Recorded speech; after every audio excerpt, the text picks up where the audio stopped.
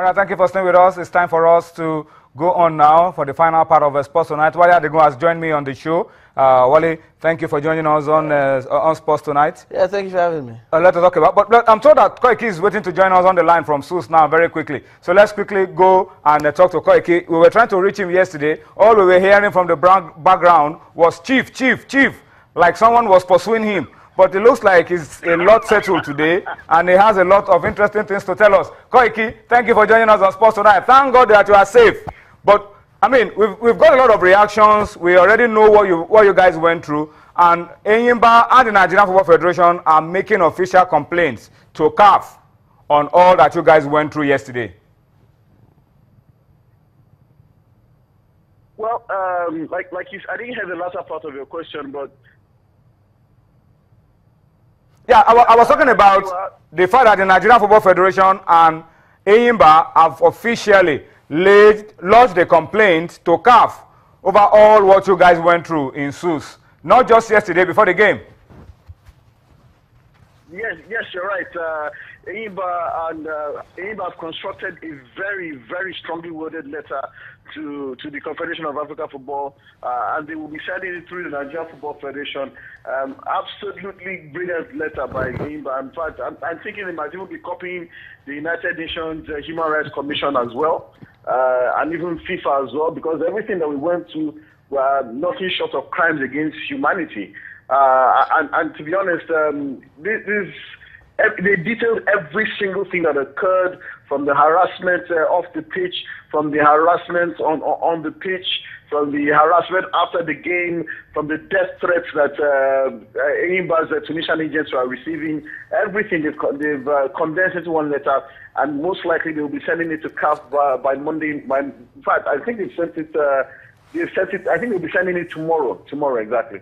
Mm. We, we know Enyimba will be coming in. Um, you'll- be leaving uh, Tunisia tomorrow and probably arriving on, on Saturday. But let, let, us look beyond what happened in Sousse. For us, Enyimba have survived. They have a ticket to the group phase. What is the body language of the team right now? Having survived in Sousse, what are they thinking about uh, now that they are through to the group phase of the, of the CAF Champions League for the first time since 2012? Any Nigerian club for the first time since 2012?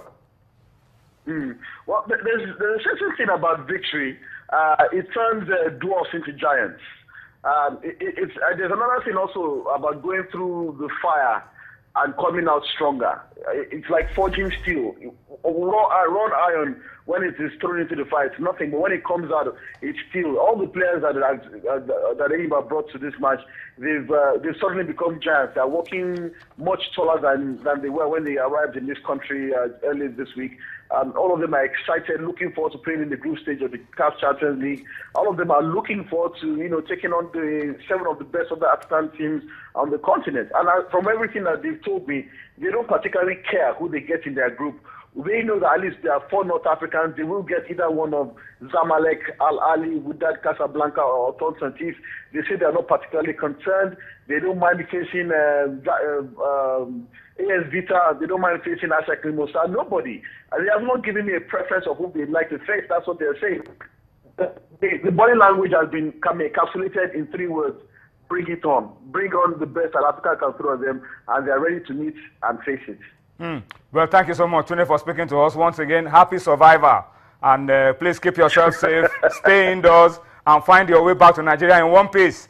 When you come back, we'll talk more about all of uh, what you guys went through. All right, so that's Tunde Koiki, a good guy uh, who uh, is in Sousse as we speak, went there with Enyimba, but thankfully, he's alive and well and is able to talk to us today. Yesterday, it was all about chief, chief, chief, chief. I see somebody was uh, running behind him. But uh, Wale Enyimba survived, so Yeah. It's for us to just begin to look at what Enyimba can do during the group phase and probably maybe win this uh, championship again. Yeah. For qualifying, there's some good money, $400,000 already in the bag for Enyimba. Mm. And um, if you win it, you get around $190. I know the dollar is, is, is, is increasing. And this is the best day. time for, it, for you to win the plenty dollars Yeah, but are, are they and change that uh, market price. I hope so. but I, I, I, I, don't think they are favorites yet. I think they need to get to the semi-finals and we'll have that conversation. But the good thing is that TP Mazembe are out. That's Defending it. champions out. Yeah, but then you have Wydad, We have to negotiate. the- those, you know, Tunde mentioned those four North African teams, key teams. With that, um, we have got John, Toshack as their manager.